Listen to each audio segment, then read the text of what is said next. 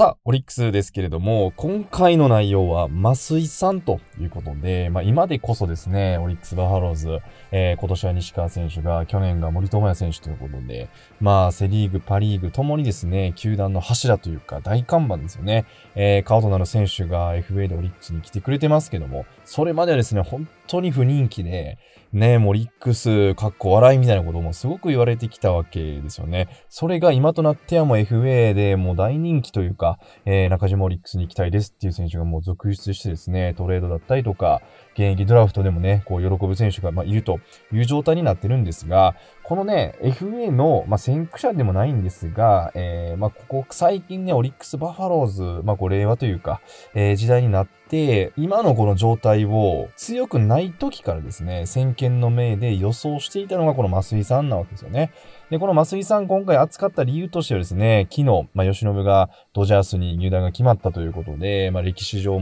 最もご評価をされた投手というふうになりました。465億円ですか。まあ、それぐらいの選手をね、オリックスがこう輩出できたということなんですが、その吉信にもですね、増井さん素晴らしいこういろんな助言を、えー、上げ、伝えていたということで、まあ、吉信が飛躍をする何かきっかけの一つに、ま、なっているのかもしれないなっていうところで、まあ、ここでね、まあ、森選手とか西川選手当たり前のように来てますし、えー、この間もね、えー、来年 FA 取得する選手で大山選手とかが、なんか面白いんじゃないかって話もしましたけども、今の状態とはもうかけ離れた状態でもオリックスに魅力を感じて来てくれたこの増井さんについて、ちょっとね、お話をしていきたいなというふうに思いました。まあみんなね、こう人格者というか、本当救世主だというふうに言ってましたけども、本当にね、僕もあの増井さんが来てくれたのが、えー、ものすごくやっぱ3連覇にも影響すると思いますし、実際にもね、去年まで、えー、選手として、えー、在籍もしていたということなので、そのあたりも含めてね、ちょっとお話をしていこうかなというふうに思います。集英社の、まあ、記事が上がっていたので、そこをちょっと引用している形になります。詳しくはね、まあ、載ってますので、ぜひ、集英社増井さんと検索していただければ、えー、載ってるんじゃないかなというふうに思うんですが、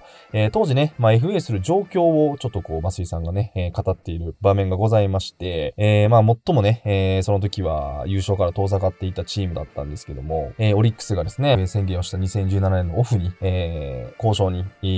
ー、入ってきたということで、まあ、巨人だったりとか、えー、古巣の日本ハムもね、こう交渉していたんですけど、中でもオリックスが、やっぱり当時ね、吉井が、えー、メジャーに行ったということもあって、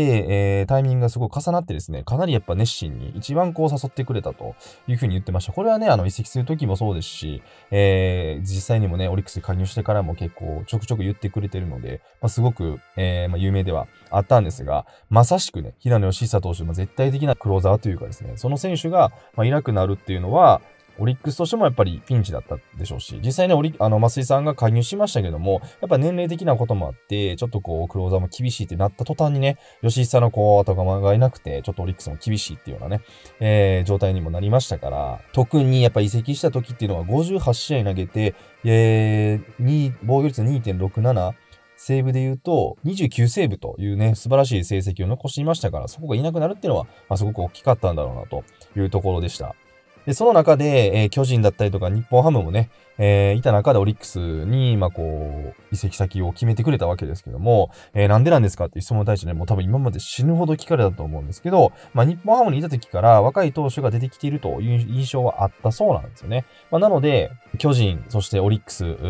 日本ハム、この3球団の中ではね、えー、一番こう優勝が、えー、近いんじゃないかっていうのが本当に心底思ってたそうです。まあ、もちろんね、オリックスがこう一番評価してくれたっていうのも、えー、あるとは思うんですけど、そういったことを言ってたということですね。まあ、実際にも吉信が19歳だったりとか、今現役で言うとあと総一郎もね、19歳ですし、今でこそね、25歳で当たり前のようにエースだったりとか、えセットアップ務めてますけども、当時はね、本当にあの、高校を卒業して間もないっていうような、状態でしたから、逆に言うとね、この増井さんが見ていた若くて、えー、優秀な選手っていうのがね、あとは山岡さんが22歳っていうのがあるんですが、それ以外はね、ほとんどもう対談をしてしまってるということなので、まあ、幸也も25歳、えー、ノブも26歳ということでしたけど、このあたりがね、割とこう、えー、光ってたのかななんていうふうに思いましたけど、当時ね、オリックスと増井さんの縁っていうのは、まあ、福良監督がですね、えー、日本ハム時代に3年間同僚だったっていうのと、えー、その前にね、3年前に FA で、えー、小谷選手が、小谷選手が、えー、オリックスに来たということで、えー、5年間日本ハムでも同僚だったということですね。あとは、えー、駒沢大学東芝を経て、えー、日本ハムに増井さんは26歳で、入団をしてるんですけど、えー、東芝で言うと足立選手が、4つ後輩、えー、駒沢大学で言うと、海田さんが3つ後輩と被ってるんですよね。で、6つ後輩に白崎選手がいたということなので、まあ、全くね、縁がなかったわけでもないということですよね。そして実際に加入をするとですね、1年目になんと63試合に登板をして35セーブというね、素晴らし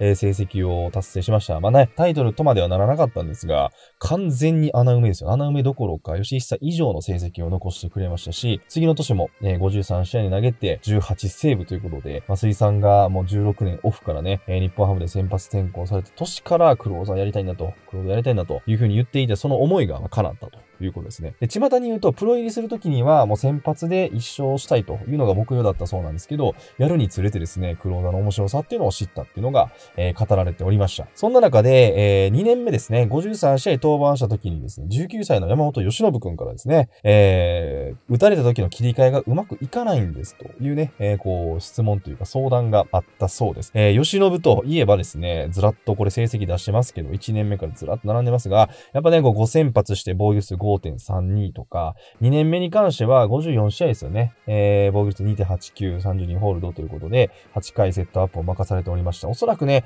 1軍で、こう、まあ、初めて、えー、帯同してきて、打たれた時になかなか切り替えができないっていうのが、えー、初めてこうできた悩みというかね、えー、そういったものだったのかなということで、松井さんもですね、それを聞いて、あの、まあ、答えたというか、真摯にこう自分が伝えられることを伝えたと言ってました。特に、前もして真ん中もして後ろも全部になったからこそ、まあ、感じたということで、全試合完璧に抑えられる投手なんていないんだということで、次、もしね、打たれたとしてもやり返せばいい。それだけだと。で、あのー、1年間ね、トータルで振り返った時に、最終的にいい成績になっていれば、それでいいんじゃないかなということで、やっぱりですね、なんか、増井さん、なんていうんですかね、こう、すごく優しいというかですね、なんていうんですか、もうすごいなんかもう、お父さんというか、親戚のお兄ちゃんみたいなね、なんかすごいなんか記事とか見てても、すっげえなんかそういう増井さんの人柄というか、なんかそういったものが、えー、すごく感じますし、実実際にこの年ね、吉信が、まあ、新人王候補にもなってね、えー、なかなかオリックス弱くて、票が集められなくてね、えー、福良監督がね、えー、もうちょっと票入れたってくれよと、あまりにこう嘆くということがありましたけど、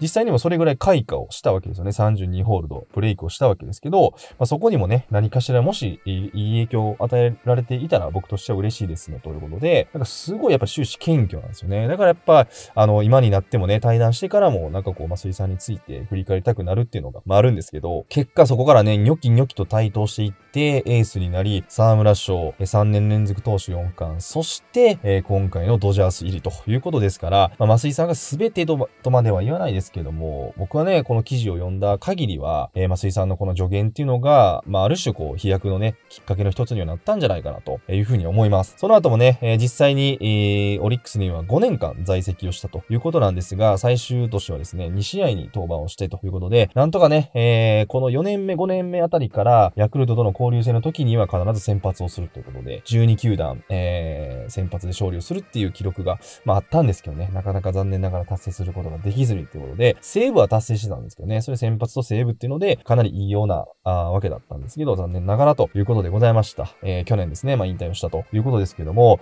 当時は、まあ他球団からのね、えー、声があれば、現役は続行するつもりだったそうなんですけど、やっぱり理由としては、スピードボーラーが増えたということで、やっぱそうですよね、あの、韓国にしてもメジャーにしても日本にしても、本当に最近投稿打定の色が強いですけど、その、まあ要因としては、ピッチャーの平均球速が5キロぐらい上がってるっていうようなデータがありますから、そこにやっぱついていけなかったというふうに言ってましたね。で、えー、26歳で、えー、入団をして、まあ38歳で引退という12年間でしたけども、入ったところが遅かったので、えー、自分の成績には非常にこう満足をしてると。一方で、あの、辛かったことに関しては、FA で来たにもかかわらずですね、強くなると思ってきたにもかかわらず、実際に強くなった時にはですね、なかなか自分が戦力には加われなかったということで、自分より年上だった、まあ、能見さんだったり、吉久、比嘉さん、このあたりがね、頑張っていたので、特に比嘉さんと吉久が頑張ってるからね、自分もこう頑張れてるみたいなことを言っていたので、彼らと一緒にね、えー、優勝を体験してみたかったっていうのは言ってました。で、一番嬉しかったのはね、まあ、WBC ということで、そのね、吉久と一緒にこう同僚というかチームメイトになったっていうのが、まあ、非常にいい思い出だというふうに言ってましたね。まあ、いろんなこう、ことを書かれてましたけども、個人的にはですね、もう引退した時からぜひぜひ投手コーチになってほしいなとずっと思ってたんですよね。で、やっぱ調べても未だにちょっと出てこないので、何してはんのかなっていうね、ここ2年間ゆっくりしてるのかもしれないですけども、まあ、いつかね、またオリックスのユニフォームに袖を通してですね、間違いなく指導者に向いてると思うので、えー、舞島でですね、金の卵たちをどんどんどんどん、えー、指導してほしいな、なんていうふうに思ったんですけども、えー、ここでですね、吉信がすっごい大きな契約を取りましたけども、その裏腹にはね、松井さんも、えー、多少なりとも関わってるんじゃないかっていうところでね、まとめさせていただきました。ということで、今回のテーマについて皆さんいかがでしょうか？ぜひね、何か思うことがあれば、コメント欄通じて教えてもらえたらな、というふうに思っております。